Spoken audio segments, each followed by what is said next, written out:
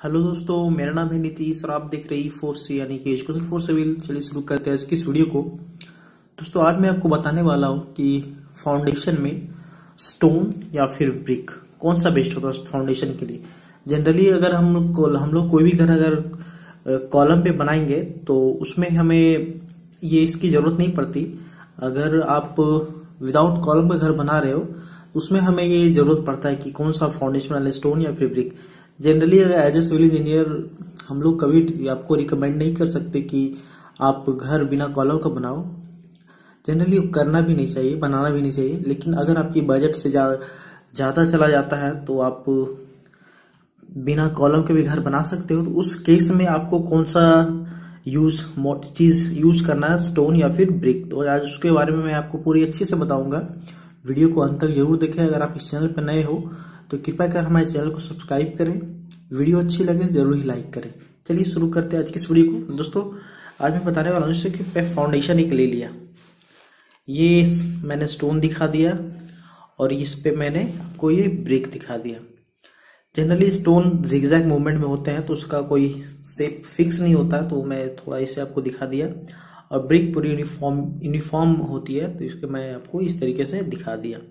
इसमें कुछ नोट्स होते हैं नोट मैं हमेशा आपको वीडियो में अपने नोट और रिज़ल्ट देता हूँ। तो इसके कुछ नोट है की पॉइंट्स है, मैं उसके बारे में बता दूँ ताकि आपको अच्छे से पता चल सके कि हम लोग कौन सा चीज़ यूज़ करना चाहिए हम लोग को। ब्रिक या फिर स्टोन चलिए, बढ़ते हैं इस वीडियो में आगे। नोट में पहला नोट में बता देता हूँ आपको। मैं हमेशा नोट दिखाता हूँ तो ये नोट है, पहला देख लो कि ब्रिक मिनिमम ब्रिक की जो मिनिमम कंप्रेसिव स्ट्रेंथ होती है, वो 3.5 न्यूटन पर एम स्क्वायर होता है। 3.5 newton 5 newton per M square.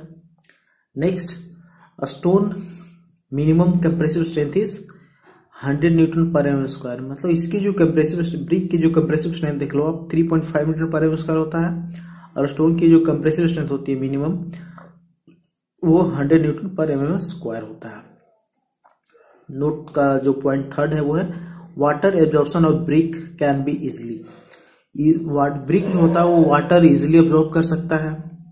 Fourth point water absorption of stone is not possible water ये जो ब्रिक जो है, वो 15 परसेंट तक 15 परसेंट तक आपको ये वाटर एब्जॉर्ब कर सकता है इजिली बट इस केस में स्टोन के केस में क्या होता है कि वो ज़्यादा एब्जॉर्ब नहीं कर सकता। तो ये अब इस पॉइंट से क्या निकलता है पूरा कंक्लूजन वो है आपको रिज़ल्ट में दिखाता हूँ। फाइनल रिज़ल्ट देने से पहले मैं आपको डेंसिटी के बारे में बता दूँ कि brick density is low compare to stone अगर आप स्टोन की डेंसिटी से कंपेयर करोगे ब्रिक की तो brick has lower density than stone next इसका सेटलमेंट जो होता है, हम लोग को सेटलमेंट देखना होगा। तो settlement brick have more capacity of settlement compare to stone brick में सेटलमेंट भी बहुत ज़्यादा होता है कंपेयर टू अगर आप स्टोन करोगे। अब उसकी मैं रिज़ल्ट आपको बता दूँ कि रिज़ल्ट क्या है। ये हमें कौन सा यूज़ करना चाहिए। तो चलिए, brick cannot increase the bearing capacity of soil पहला आप ये जान लो कि ब्रिक जो है सॉइल की बेयरिंग कैपेसिटी इंक्रीज नहीं कर सकता। But stone can increase the bearing capacity of soil इसमें जो स्टोन होता है वो आपको बेरिंग कैपेसिटी ऑफ़ सॉइल को इंक्रीज कर देता है। Stone is locally available and cheaper than brick ये तो मैंने आपको बता दिया कि स्टोन क्या क्या कर सकता है बेरिंग कैपेसिटी को बढ़ा सकता है। और हमारा जो भी बिल्डिंग की लोड्स आने वाली है, वो सॉइल पे आती है। ओवरऑल अगर आप कॉलम नहीं दे रहे हो तो सारे जो लोड होंगे वो हमारी किस पे? सॉइल पे आएगी सॉइल पे। अगर बेरिंग कैपेसिटी हम जितना ज़्यादा इंक्रीज कर देंगे उतना ज़्यादा हमारे बिल्डिंग के फ्यूचर के लिए अच्छा होता है। क्वालिटी जो सही होता है।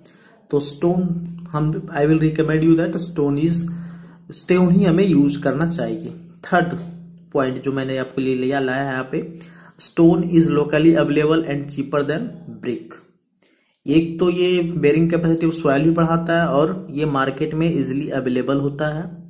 और इसकी जो दाम है वो भी सस्ता होता है आपको ब्रिक से। Fourth point stone will give more strength than brick strength ये ज़्यादा देगा ब्रिक से ज़्यादा स्ट्रेंथ देगा।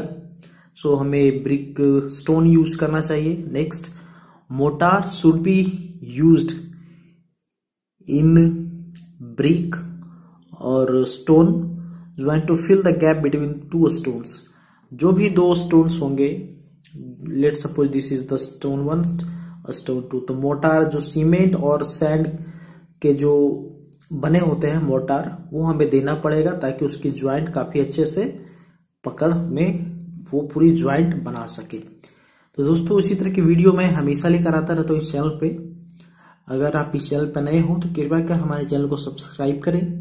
वीडियो अच्छी लगे तो ज़रूर लाइक करें, अपने दोस्तों के साथ शेयर ज़रूर करें। Thank you so much